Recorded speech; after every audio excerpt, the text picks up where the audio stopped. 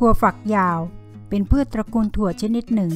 ที่นิยมนำมาประกอบอาหารและรับประทานเป็นเครื่องเคียงแบบดิบๆ มีคุณค่าทางโภชนาการสูง โดยเฉพาะแคลเซียม โพแทสเซียม และวิตามินซี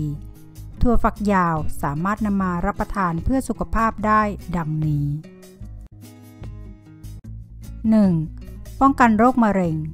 ผลการศึกษาวิจัยระบุว่า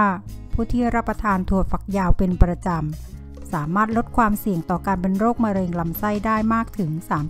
30%เนื่องจากในถั่วฝักยาว มีสารต้านอนุมูลอิสระหลายชนิด ที่ช่วยยับยั้งการเจริญเติบโตของเซลล์มะเร็ง 2. ช่วยป้องกันโรคเบาหวาน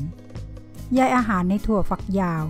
ช่วยดูดซึมน้ำตาลจากอาหารไม่ให้เข้าสู่กระแสเลือดในเวลาอันรวดเร็ว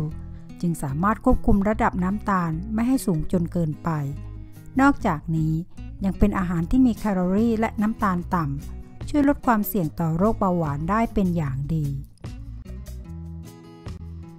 3. ป้องกันโรคกระดูกพรุน ถั่วฝักยาวมีแคลเซียมและฟอสฟอรัส แร่ธาตุที่ช่วยบำรุงกระดูกและฟันให้แข็งแรง การรับประทานถั่วฝักยาวเป็นประจำในผู้สูงอายุ จึงช่วยป้องกันโรคกระดูกพรุนได้เป็นอย่างดี 4. ป้องกันภาวะทารกพิการแต่กำเนิด สตรีมีครรภ์จำเป็นต้องได้รับโฟเลตมากกว่าปกติ เพื่อป้องกันภาวะทารกพิการแต่กำเนิด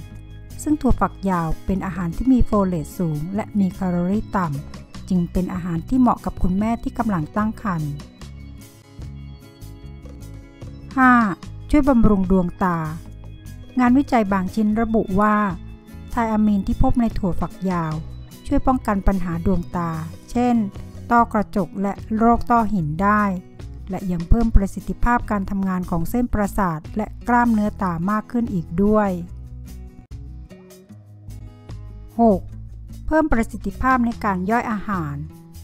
ใยอาหารในถั่วฝักยาวจะช่วยให้ระบบย่อยอาหาร และระบบขับถ่ายทำงานได้มีประสิทธิภาพมากขึ้น ลดความเสี่ยงต่อการเป็นโรคท้องผูกและมะเร็งลำไส้อีกด้วย 7. ช่วยให้นอนหลับสบาย การขาดแมกนีเซียมอาจเป็นสาเหตุหนึ่งของโรคนอนไม่หลับ ดังนั้น การรับประทานถั่วฝักยาวที่มีแมกนีเซียมสูง จะช่วยบรรเทาอาการให้ดีขึ้นได้ ขอบคุณที่ติดตามชมนะคะ ถ้าชอบก็กดไลค์เพื่อเป็นกำลังใจให้แก่ผู้จัดทำค่ะ ถ้าเห็นว่ามีประโยชน์ก็โปรดกดแชร์ ถ้าไม่อยากพลาดคลิปใหม่ ๆ ก็กดติดตามกันนะคะ